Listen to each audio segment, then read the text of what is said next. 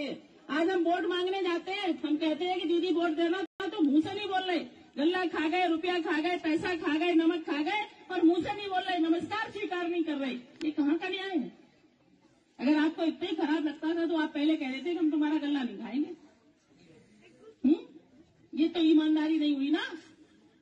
सब कुछ ले लिया। रुपया हमें मिले, गल्ला हमें मिले, सुविधाएँ हमें मिले, आवास हमें मिले। लेकिन जब हम वोट देने जाएँगे 哪个